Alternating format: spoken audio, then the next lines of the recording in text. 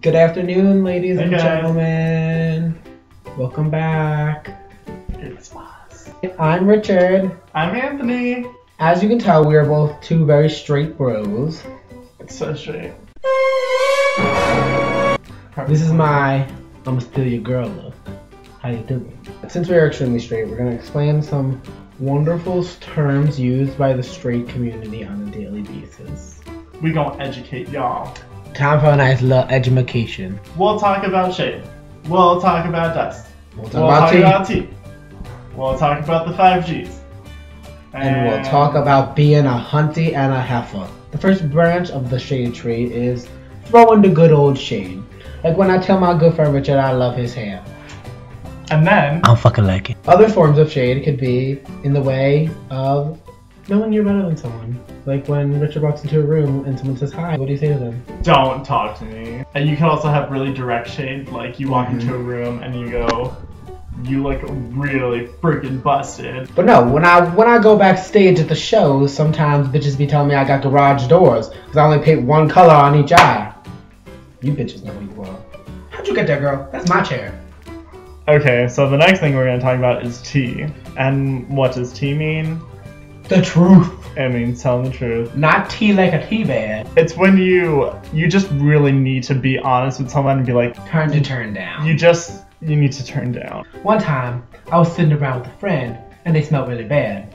So I threw a stick of deodorant at them. I gave them the tea. I gave it to them in their great little twinky hands. Words don't need to be exchanged. No. And you embody the tea. You become the tea. You shoot up the tea sometimes, depending on who you are. For you weaker hearted people out there, there is a way of being Shady in a polite way. in the other communities, we'll say, people will be like, no offense, bro, but in our lovely, colorful community, I'd be like, No tea, no shade.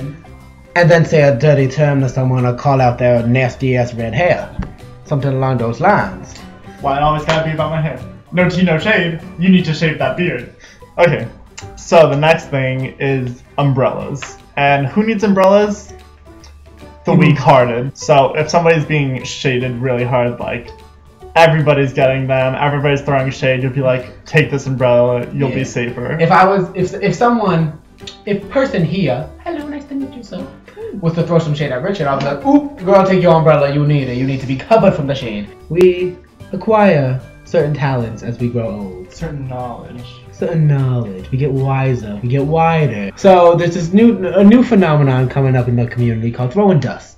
Where you lift up the rug, you pull out the dirty secrets, and you throw the dust. It works better when you've been friends for a while, or Yeah. if you just like gossip. throwing some dust would be like if you know your friend has a STD and you want to call them out on it, you would be like, under- You're pointing at me as I was I was pointing in the direction of of God Himself. So you would lift up the rug, you pull out the chlamydia bubble, and you throw it at them for the world to know. Sometimes you just need some motivation, and you need you need a, a quote to A help pick-me-up. a pick me up to get you through the day. Not a pickup line. so, what we provide with you guys are the five G's. Good, Good God, God, girl, get, get a, a grip. Sometimes you just really need to get your life together, take a step back, and pick up all your beating brushes and get back at it. Get out there. if you sweat on stage, girl, it's okay. Wipe your eyebrow off, draw on a new one.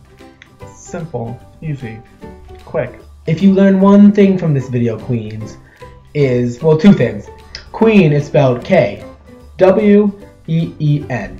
Write it in essays, write it on college applications, write it on your tests. Hashtag now, Queen Richard Anthony, right now. Make it trending. You need to know what it is to be a hunty and a heifer. Two different things. First off, a hunty is someone who's getting all up in your business. They crawling all up on your skin, they climbing you like a tree, not in the good way, and they want to be you. So you say, hunty, turn down. And a heifer. No, nobody wants to be a heifer. Mm-mm.